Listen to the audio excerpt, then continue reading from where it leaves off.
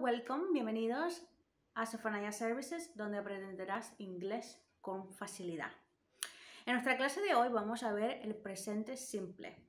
Present simple. Are you ready? Let's go.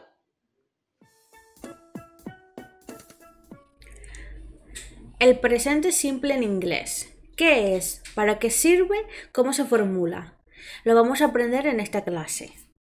Por ejemplo, ¿Do you speak English? Yes, I do. Pues ya lo estás practicando. Muy bien, empecemos. El presente simple se usa para expresar hábitos, verdades generales, acciones repetidas, emociones y deseos. ¿Qué es? es uno de los tiempos verbales del presente utilizados en inglés, también denominado o se le conoce como el presente indefinido. ¿Para qué sirve? Bueno, como he visto antes, eh, sirve para expresar afirmaciones, permanencia, hábitos y rutinas. Por ejemplo, you exercise every morning. You exercise every morning. Es un hábito, es una rutina. Estamos utilizando el presente simple. Ahora, ¿cómo se formula? Es decir, ¿cuál es la fórmula? Vale, pues tenemos el sujeto más el verbo en definitivo sin tú. So tenemos sujeto más el verbo. Ahora, por ejemplo, ¿qué es el sujeto? Pues tenemos aquí los pronombres sujeto.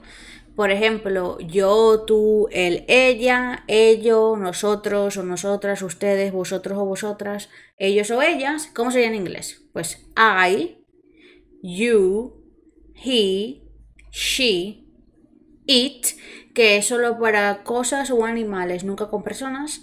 We, you, they. ¿Ok? I, you, he, she, it, we, you, they. ¿Vale? Como puedes, te has dado cuenta, hay dos you. Uno es tú y uno es de el tú de plural, es decir, vosotros o ustedes. ¿Ok? Un ejemplo. I drink water. I drink water. Muy bien, muy sensible. ¿A que sí? Muy sencillo. Ahora, vamos a verlo en la forma afirmativa y en la forma negativa. ¿Ok? Ahora, aquí vamos a ver de una, una pequeña... Eh, bueno, después en otros videos podemos ya concentrarnos en el verbo to be o el verbo y estar, pero en este caso vamos a ver rápidamente. Por ejemplo, si yo quiero decir yo soy, ¿vale? Aquí, aquí vamos a verlo rápidamente. I am yo soy. I am. You are. You are. He, she, it, is. We, you, they are. ¿Ok? Es el verbo ser estar y lo vamos a ver más, más, en más profundidad en otra ocasión. Ahora, vamos a ver cómo formularíamos aquí una oración que es el sujeto más el verbo, en definitivo sin tú. Por ejemplo, I drink. Sujeto verbo. I drink. Yo bebo. I drink. You study. Tú estudias. You study. He works. Él trabaja. She helps. Ella ayuda. It barks. E ladra o eso ladra, es decir, estamos hablando de un perro, obviamente, eso ladra sería. Ahora, he subrayado esto para que veas que normalmente, obviamente lo podemos profundizar un poco más, pero cuando estamos utilizando en el, presente, simple, el verbo de la tercera persona, es decir, él, ella, it, o eso, el verbo en afirmativa siempre se le añade una S. Ahora, hay ciertos verbos que terminan en ciertas que terminan de una forma y se, tienen que cambiar. Eh, se puede agregar ES o IES, eso lo podemos ver más, más en detalle en futuro, ¿vale? Pero en este caso, ¿Vale? Tenemos works, helps, barks. Esto termina en S. Ok, ahora, we, nosotros, we dance. Nosotros bailamos. You dance. They dance. ¿Ves? Es muy fácil. You study English. Tú estudias inglés. Ahora, si tú quieres decir yo estudio inglés, ¿cómo lo dirías? Correcto, cambiando el sujeto, es decir, I study English. Muy bien, excelente, fantastic. Ok, la forma negativa tenemos sujeto, el verbo. Ahora tenemos aquí auxiliar para hacer esa negación. ¿Cómo hacemos esa negación? Pues utilizamos el do más not o lo podemos abreviar que sería don't, que sería do más esto. Don't, como lo tenemos aquí. Don't. Pero ¿qué usa, ¿cómo sé yo cuándo usar do, cuándo usar dos? O, eh, remember, es does, no do es, ¿vale? Dos. Do, does. ¿Vale? Pues I, you, we, they. I do. You do. We do.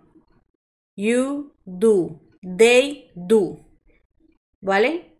Primera, segunda, y del, de primera y segunda del singular y primera, segunda y tercera del plural usan do. Los únicos que utilizan el auxiliar 2 son los de la tercera persona, es decir, he, she, it. ¿Ok? He does, she does, it does. ¿Cómo sería la negación? Muy fácil. I do not. O, más sencillo, I don't. ¿Ves cómo lo tenemos aquí? I don't. O you don't. We don't. They don't. ¿Y cómo sería en, en tercera persona? ¿Vale? He does not. O abreviado, que es lo más común. He doesn't. O she does not. O she doesn't. ¿Ves la abreviación? O he doesn't. Perfecto. Vamos a ver un ejemplo. Aquí, vamos a vernos aquí. En negación. Bueno, en negación porque es lo que estamos... Aquí vemos la, afirmativa, vamos a ver la negación. I don't drink coffee. Bueno, que no es mi caso porque yo sí que bebo. She doesn't drink coffee. ¿Ok? Por ejemplo, si yo quiero decir eh, que él no trabaja o él no trabaja. He doesn't work. ¿Sí? He doesn't work. ¿Ves que no está aquí la S? No está ni en work, ni en help, ni en bark. En la forma negativa no tenemos la S, en la forma afirmativa tenemos la S en la tercera persona, en el verbo en la tercera persona. ¿Por qué? Porque no se pone la S en el verbo de la tercera persona en negaciones ni en preguntas, ¿vale? Esas son las fórmulas que tienes que memorizar. En el presente simple tercera persona se agrega S, sí, luego vemos las diferentes conjugaciones en otra clase. Eh, pero en negativa o en negación y en preguntas no se le añade el, la S al, al verbo de la tercera persona. ¿Correcto? Vamos. Ahora, Vamos a ver con las preguntas con los auxiliares. Preguntas con do y does. ¿Cómo se formula? ¿O cuál es su fórmula? Pues tenemos do o dos más el sujeto más el verbo. Por, perdona, por ejemplo, do you, do, ¿ves? ¿Por qué do? Porque estoy utilizando eh, el, pronombre tú, ¿ves? I do, yo utilizo do. ¿Vale? Importante. Ok, do. Do you drink coffee? For example, por ejemplo, ¿vale? Pero si tengo una tercera persona, ¿qué tengo que hacer? Utilizar dos, correcto. Does she drink tea? O does she drink coffee? Es la pregunta. ¿Cómo sería la respuesta? Muy fácil. Yes, I do. O yes, she does. Eso lo vamos a ver con poco a poco, ¿vale? Ahora, con las partículas interrogativas. Who, ¿quién? Who, ¿quién? Where, where, ¿dónde? What, what, ¿qué? When, ¿cuándo? How, ¿cómo? ¿Ok? La partícula interrogativa va delante del auxiliar, seguida del sujeto y después el verbo. Por ejemplo, where, partícula interrogativa, where, auxiliar, do, sujeto, you, verbo, go. Where do you go every morning? ¿A dónde vas todas las mañanas? Where do you go every morning? ¿Ok? Esto es una forma general.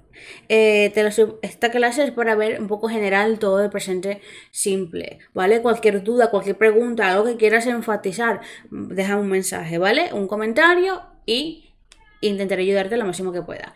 Ok, tenemos adverbios de frecuencia, ¿ok? Always, siempre. Usually, ¿vale? Puede decir usualmente, o por lo, por lo general. Always, usually, que siempre, eso suele pasar, que al escribir se ponen las dos S en vez de dos L, ¿vale? Eso suele pasar, pero... Ahora tenemos often y sometimes, seldom o rarely never. Ok, always, siempre, usually, usually, ah, por, lo, por lo general o usualmente, que, que, me he comido aquí. Ay, bueno, luego lo pongo en el comentario. Eh, often, a menudo, sometimes, siempre, seldom, rara vez, rarely, raramente, never, nunca. Ok, un ejemplo. Sujeto, ¿ves? Porque tenemos aquí que los adverbios, cuando tenemos un adverbio, normalmente van entre el, entre el sujeto y el verbo. Ok. I, yo, I always, siempre, I always drink water in the morning. I always drink water in the morning. Siempre bebo agua en la mañana. ¿Vale? Do you understand? ¿Me entiendes? Ejemplos, examples, con adverbios de frecuencia. El adverbio de frecuencia siempre debe de ir entre el sujeto y el verbo. ¿Ok? Por ejemplo, John never eats. ¿Ves a ese? Tercera persona. John never eats pizza. Él nunca come. John nunca come pizza. Sarah o Sarah always watches, este es un ejemplo, ¿ves? Lo terminan en CH no solo se le agrega la S, se le agrega ES, ¿ves? Eso, bueno, le iremos detallando poco a poco. Sarah always watches TV in her room, en su habitación. They sometimes, a veces, they sometimes do exercise in the park. They sometimes do exercise in the park. A veces hacen ejercicios en el parque. Cuando se usa el verbo to be o el verbo ser y estar, se coloca primero el verbo y después el adverbio. Por ejemplo, I am always hungry. I am always hungry. O se puede abreviar con el apóstrofe quitando la A y dejando la M. Sería am. I'm always hungry. Siempre estoy hambrienta o hambriento. He is usually late for school. He is usually late for school. A menudo suele llegar tarde al, cole o al colegio o a la escuela. ¿Me entiendes? ¿O you understand? Cualquier pregunta deja en los comentarios. ¿Vale? Más ejemplos, examples, para hábitos. He drinks, esa S, tercera persona, orange juice for breakfast. He drinks orange juice for breakfast. Eh, ese me, me lo añadido. Este tengo que eliminar. She eats fish. Ella come pescado. She eats fish. They always watch movies at night. They, ellos, always, siempre, watch movies at night. Eh, ven películas por la noche. Acciones repetidas. We drive to work every morning. We, nosotros, drive to work. Conducimos hacia el trabajo o al trabajo every morning, todas las mañanas. They exercise every day. They, ellos, exercise every day. Hacen ejercicios todas las mañanas. Verdades generales. A magnet attracts iron. A magnet attracts iron. Un imán atrae hierro. The sun rises in the east. The sun rises in the east. El sol. Eh, ¿Cómo se dice la palabra? Eh, eh, sale o que se me olvidan veces el español y viceversa. Eh, por, la, por, el, por el este.